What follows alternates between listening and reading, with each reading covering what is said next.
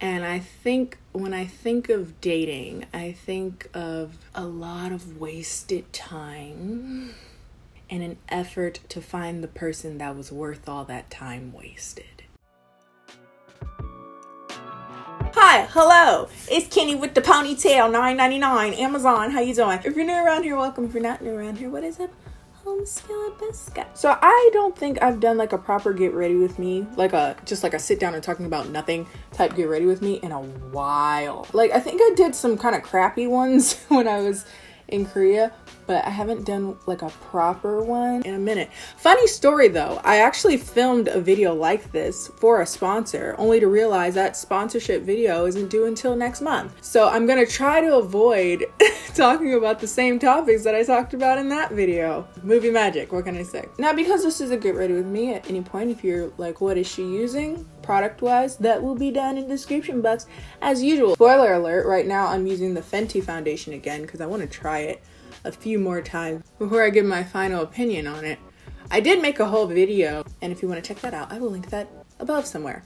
I think my tan is starting to go away already. That was quick. My tan didn't stay for no time. It was like I, I was barely committing anyway. So I guess I'll start off by saying thank you guys for your reaction on the first uh, of the bad movies in a beat series. I thought of it literally on a whim. I think it was partially because I've been super obsessed with Bailey Sarian the last few weeks. I talked about this in the other Get Ready With Me. Oh my god, I hope I don't get too much overlap. But has a series where she just talks about murder mysteries. And I was like, we need to have more just like get ready with me content, just in general on YouTube. That's just like, it doesn't necessarily have to do with makeup because, in fairness, we all know how to do a smoky eye at this point. Like if you don't know how to do it now, you just didn't look. you didn't look for a tutorial. There's plenty of them. There's so many products coming out. So it's like you're bound to find something that you like. But as far as just giving that personal touch, I'm always full of useless information and useless thoughts on things. So girl, yes. If you didn't watch that video, basically I just did my whole critique of Tall Girl as a tall girl. Watch it. I think you might like it. It might be kind of fun. I'm already started on next week's video. Um, I think I kind of want to do it every Saturday because I watch a lot of bad movies and I just need I just need to talk about it somewhere. I don't want to spoil it because it's like it's peak garbage. I was gonna do Twilight. I'll spoil that. It's not Twilight because I just bought a CD-ROM, like a USB CD-ROM for my Mac because they don't have those anymore for some reason. I don't know when that became a thing. CD-ROM drive so that I can look at my old DVD. Speaking of which, I don't know where my DVD is, but I do remember the original movie, I got the director's cut. And I remember thinking that the director's cut was more interesting than the actual movie. so once that's all settled, I'm looking forward to revisiting Twilight because it, it's trash. It is a trash movie. Um, it's a trash movie that I lied to myself and said I liked even as a child. Oh, by the way, if you see The Fly, he's still here. At this point, I kind of want to just name him. Like, I don't even try to kill him anymore because at this point, you might as well pay rent. At this point, he's basically an emotional support animal. I was thinking of naming him Herbert. So if you ever see Herbert in a video, feel free to say hi to Herbert endless road of trying to defat myself. At this point though, my motivations aren't as shallow as they've been in the past. Like before it was just like I want to be thin. Now it's I don't want to buy more bras. when I went to Korea this year, I brought all the bras that I usually wear. Like when I'm around at my house, I don't wear a bra because like why? Then I'm like, okay, I'll take all my bras that I usually wear and I got to Korea, a country not of the best bra selection, just saying. And I was stuffed in them bad boys. Am I really about to shell out more money for a titty holder. The thing is too because I had nowhere else to go because I I'm that like bra size that I'm able to get away with buying clothes at like a supermarket, but I'm right at the cusp. Like if I get any bigger, it's over and I have to buy like actual bras like at bra places. And I was like, ooh, ooh. So I'm like, oh no, I can't I can't be doing that. That's that sounds like work. And another thing is when I got back from Korea, I mistakenly had gotten better thighs because of all the walking. And I was like, well, I don't want to lose that. My legs don't even jiggle as much. So let's upkeep that. More freedom and more consistency with exercising. Like I actually really like it, which is weird. I've never been here before. I've lied to myself and said I liked it before. I've, I've done a lot of lying to myself. But now I like actually genuinely like it. If I'm having like a bad day, I go to the gym Can't believe it. I'm becoming one of them people. It don't show yet. but I say all that to say my my titties fit in my old bras again. So hallelujah, there you go, amen. I really did luck out with the titty thing though, because like my because like my sister and my mom have just huge boobs, like giant boobs, and I just got skipped. And when I was young and stupid, I thought, oh, that's bad. I wish I had bigger boobs. Then I grew up and realized what privilege really is. I don't have no titties. Like I have titties, but they're not like overwhelmingly large. So like I can buy clothes, especially tops from most places. You don't even have to be like plus size, but if you just have giant boobs, that really limits your your ability. Not to mention the back pain. I don't know why that is, but my my sister and my mother have never really complained of back pain related to their boobs, which is weird considering I feel like they have the type of boobs, like the size of boobs that you would think would be associated with. But yeah, my bras fit again, which is like the little cuz I went I wasn't on track for like three days because I was just hungry. I don't know. and I'm like, I'm hungry, so I want to eat. So I'm going to eat. And then I like tried on some of my old bras and I realized, oh, I can fit them now. That's the inspiration I needed to stop this little bender here and go back to the gym. I'm like, okay, I ain't buying no more titty holders. You got me messed up. It's funny, whenever you sit down for to do a get ready with me, you're like, I have all these things to talk about. And then I'm sitting here, I'm like, what?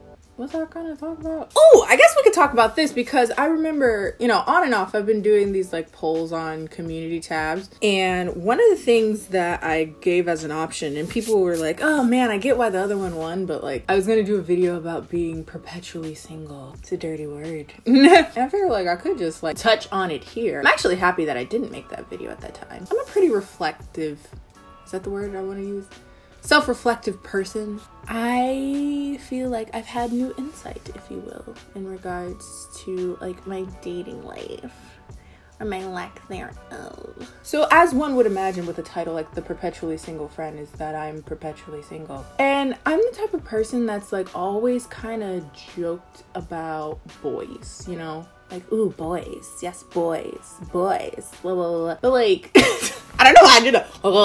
But like, I've always been a person that's like, really interested in boys in like a my mom said i'm interested in dating in theory because we were talking about this and she was like kendall if you found a person you'd be like ah I'm over this. I'm over it. I'm done. Even if he was like a great person, I'd just be like, oh, I'm over it. He want me to talk to him. He wants he want me to be near. He want me to give him affection and time of day. Ah. and you know, sometimes it hurts to get read by your parents, but it also gives some insight. Uh, how do I put this? She is absolutely right. I have a weird thing about relationships in the sense that I think of them less as like an opportunity to to like connect with another person and to you know like love and be loved and stuff like. I think of it less like that and more of like a thing I gotta get around to that I just haven't gotten around to yet. Like a checklist it's like not that I really want to be in a relationship that bad. It's just I feel like it's something that I should have done by now. If that makes sense. But every time the opportunity presents itself, I'm like, nah. because it just sounds like a lot of work. I think also what doesn't help is that for a long time I had a very close knit group of friends that were in a very similar boat as me. It's like none of us really were the dating type. We would kind of talk about it as like a theory, but wouldn't really pursue it. You know, we wasn't on apps, or if we were, it was more so just to combat boredom, more so than like trying to find someone to even talk to casually, you know.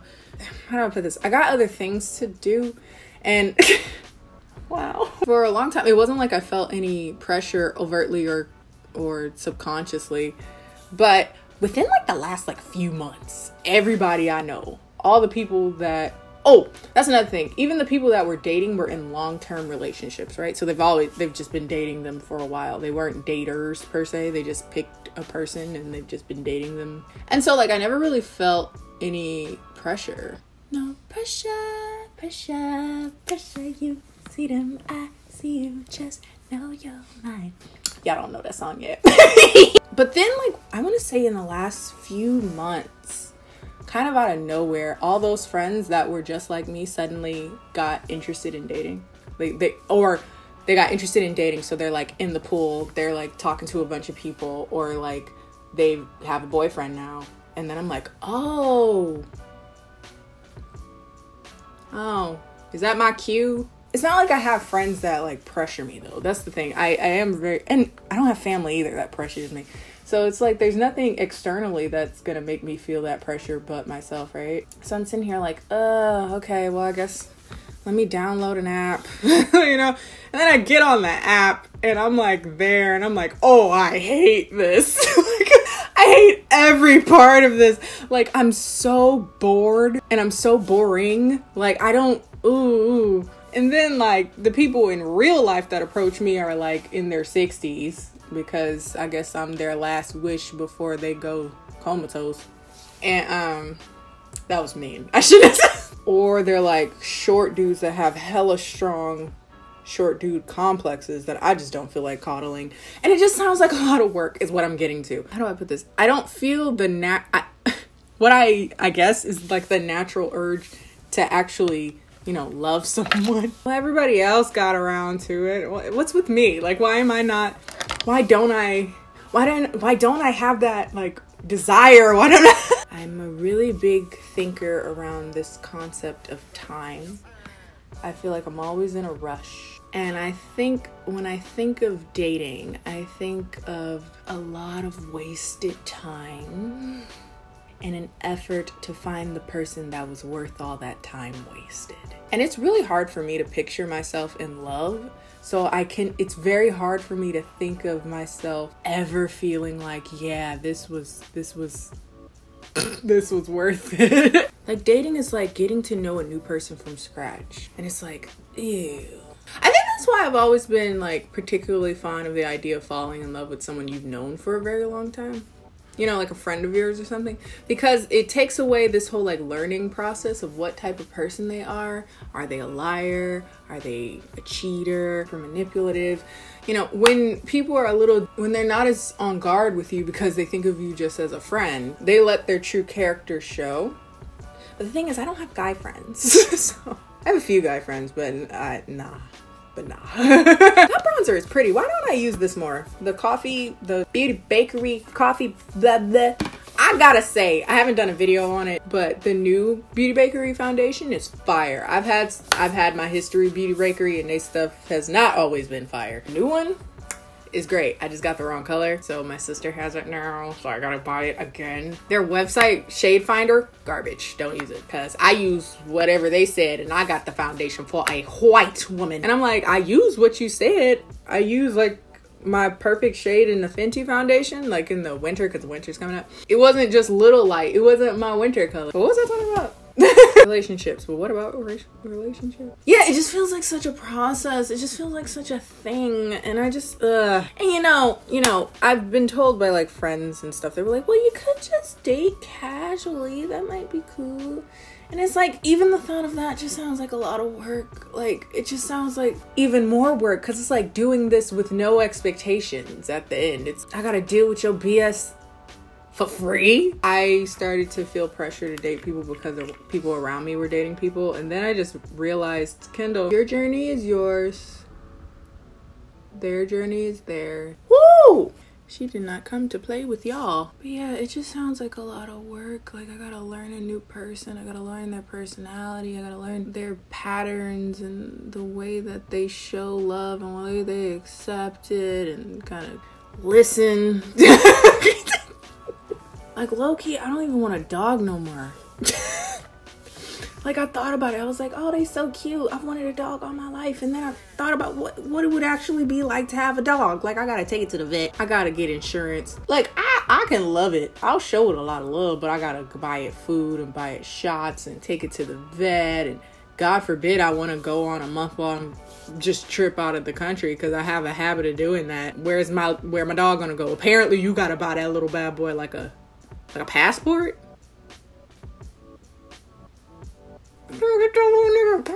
I was shook. I was like, oh, I'm not ready to be like a mom. I didn't I didn't think about it. I really didn't. And I'm so happy I did think about it before I subject the poor dog to that. And that's how I feel about a boyfriend. Honestly, I don't feel like I would be good at being a girlfriend. At least right now. Like I don't like I don't I'm not again, I'm thinking of like a relationship as like a thing to do, a checklist, a thing to pick up on the way to the store. Gotta get milk, toilet paper, shampoo, grapes, my boyfriend, roast chicken so I don't have to cook tonight. When you're only thinking about yourself immediately when you're going into the idea of even wanting to date people, what's the point? Like you can be yourself by yourself. With that said, if some like six foot three Christian you look alike wanted to come and slide in my DMs, I would not say no. Until then, not in any rush. Okay, that's all for today, everyone. If you like this video, be sure to like this video. Follow me on Instagram and Twitter, both of which are KennieJD, and I'll see you guys on Saturday. What do you guys think about making Saturday bad movies and a beat day? I feel like Saturday is the day you watch movies, right? So it's like, ooh, it's Saturday. Let's watch a crappy movie and let's talk about it. I like the idea, but whatever. whatever. But then again, I like all my ideas. They're not always great though. and I will see you guys next time. Bye. Bye, bye, bye.